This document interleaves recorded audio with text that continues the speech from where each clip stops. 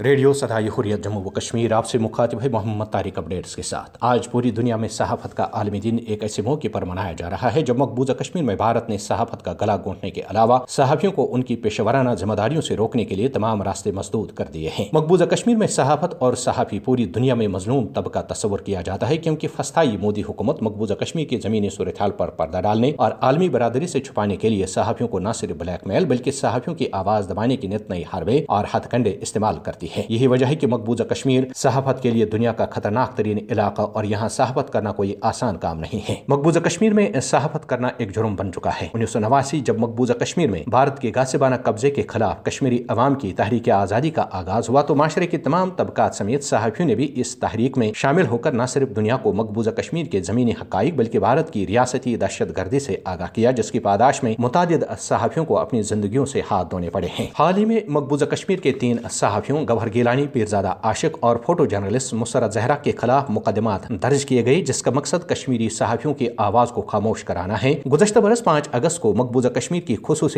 हैसियत की मनसूखी के बाद भारत ने यहाँ न सिर्फ़ मवासलाती निज़ाम मअतल बल्कि सहाफत पर शदीद पाबंदियाँ आयद की, जिसके बाद मकबूजा कश्मीर में सहाफत एक कमरे तक महदूद होकर रह गई थी। मकबूजा कश्मीर में सहाफत मोदी हुकूमत की बदतरीन पाबंदियों की इज़्ज़त में है। भारत पहले की तरह अपने मनसूबों में नाकाम रहेगा, जबकि कश्मीरी सहाफी अपने खिलाफ कायम मुकदमात और दूसरी इंतकामी कार्रवाई से खौफजदा होने के बजाय भारतीय हरबों का मुकाबला करने का आज़म ज़ाहिर कर चुके हैं। ज़रूरत इस अमर की है कि आलमी बरादरी कश्मीरी सहाफियों को निशाना बनाने की मोदी हुकूमत की कार्रवाई का नोटिस ले। उधर राजवाड़, हंदवाड़ा के छंजमुला में एक कार्रवाई में भारतीय फौज के एक कर्नल, एक मेजर, एक लासनायक एक रफलमैन और एक सब इंस्पेक्टर मारे गए हैं। यहाँ भारतीय फौज ने गुजशत रोज महासरा करके तलाशी ऑपरेशन शुरू किया था। अपडेट्स खत्म हुए। आज पूरी दुनिया में वर्ल्ड प्रेस फ्रीडम डे के तौर पर मनाया जा रहा है, जबकि मकबूजा कश्मीर में आजादाना सहाफत और कश्मीरी सहाफी भारतीय काबिज इंतजामिया के अजाब अताब के शिकार हैं। नरेंद्र मोदी हुकूमत ने मकबूजा कश्मीर में भारतीय काबिज फौज के इंसानियत सोज मजालिम और अपने हिंदुत्व के साम्राज्य मनसूबों को छुपाने के लिए जहाँ मकबूजा कश्मीर में मवासलाती पाबंदियाँ आयद कर रखी है, वहाँ कश्मीरी साफियों पर मकबूजा कश्मीर की गंभीर सूरत हाल और कश्मीरों के दर्दो करब की रिपोर्टिंग करने पर भी सख्त पाबंदी आयद कर रखी है। मकबूजा कश्मीर में सहाफियों को न ही आजादाना तौर सहाफती जिम्मेदारियाँ अदा करने की इजाज़त है और न ही वो सहूलतें फराहम की जा रही हैं जो दुनिया के हर मुल्क में सहाफियों को